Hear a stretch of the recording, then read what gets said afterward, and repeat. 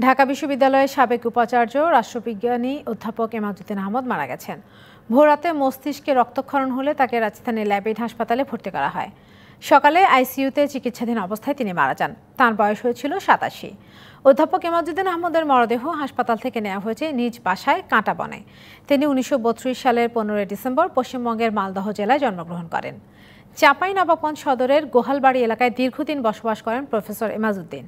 তিনি শিবগঞ্জের আদিনা সরকারি ফজলুল হক কলেজ ও রাজশাহী কলেজের প্রাক্তন ছাত্র। ঢাকা বিশ্ববিদ্যালয়ের ছাত্রনেতা হিসেবে অধ্যাপক এমাজুদ্দিন আহমদ কারাবরণও করেন। ঢাকা বিশ্ববিদ্যালয়ের রাষ্ট্রবিজ্ঞান বিভাগের চেয়ারম্যান, উপ উপাচার্য এবং উপাচার্য হিসেবে দীর্ঘদিন দায়িত্ব পালন করেন তিনি। এমাজুদ্দিন আহমদ বিএনপি পন্থী বুদ্ধিজীবী হিসেবে পরিচিত ছিলেন। তিনি সবশেষ বেসরকারি বিশ্ববিদ্যালয় ইউনিভার্সিটি অব ডেভেলপমেন্ট অল্টারনেটিভ ইউডার উপাচার্য ছিলেন।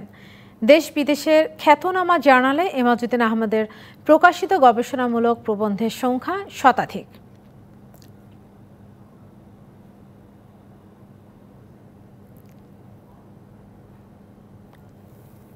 শিক্ষক হিসাবে, অভিভাবক হিসাবে, পিতা হিসাবে একটা তুলনাহীন মানুষ। আল্লাহ তার সকল সন্তানকে তিনি যোগ্য মানুষ করে তুলেছিলেন। আমরাও যখন যে পরামর্শ তার কাছে চাইতাম, এত অসাধারণভাবে তিনি সেই পরামর্শগুলো দিতেন। দর্শক, ঢাকা বিশ্ববিদ্যালয়ের সাবেক উপাচার্য, অধ্যাপক, রাষ্ট্রবিজ্ঞানী এমাজুদ্দিন আহমদের মরদেহ রাজস্থানের ল্যাবেড হাসপাতাল থেকে কাঁটাবনে নিজ বাসায় নেওয়া হয়েছে। সেখানে আছেন সহকর্মী জাহিদ হাসান, যাচ্ছি তার কাছে।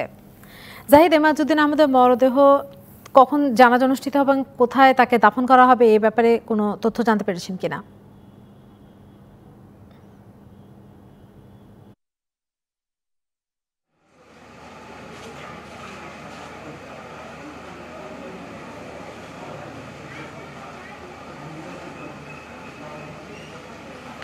ঢাকা বিশ্ববিদ্যালয়ের সাবেক উপাচার্য, রাষ্ট্রবিজ্ঞানী অধ্যাপক ইমাজুদ্দিন আহমেদের লাশ এখন তার নিজ বাসভবনে রাখা হয়েছে কাটাবনে। তিনি সকাল সাড়ে সাতটায় রাজধানীর ল্যাবেইট হাসপাতালে চিকিৎসাধীন অবস্থায় মারা যান। তিনি মধ্যরাতে অসুস্থ হয়ে পড়েন।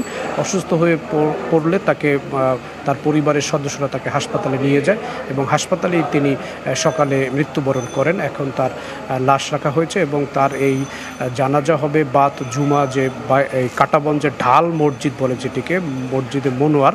এই মসজিদেই তার জানাজা হবে। তার জানাজা শেষে তাকে দাফন করা হবে। তার পরিবারের পক্ষ থেকে যেটি জানানো হয়েছে, তাকে দাফন করা হবে মিরপুর যে বুদ্ধিজীবী কবরস্থান রয়েছে সেখানে সেখানেই তার দাফন করার কথা এখন পর্যন্ত পরিবারের পক্ষ থেকে জানানো হয়েছে। এখানে তার এই মৃত্যুর খবর শুনে তার দীর্ঘদিনের সহকর্মীরা, তার আত্মীয় স্বজন তারা বাসায় এসছেন। এখানে রাজনীতিবিদরাও আসছেন।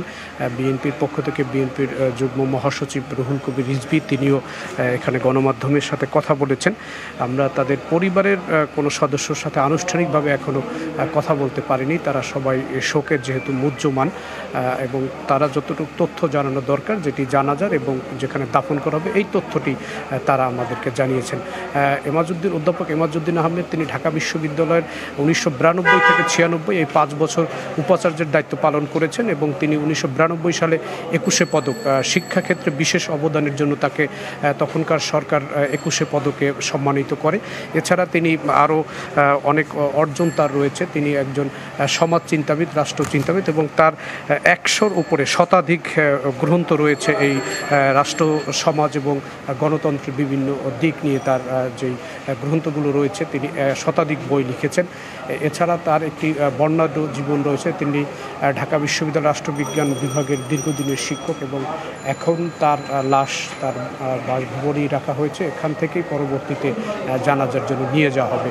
ইশরাত। ধন্যবাদ, জাহিদ হাসান।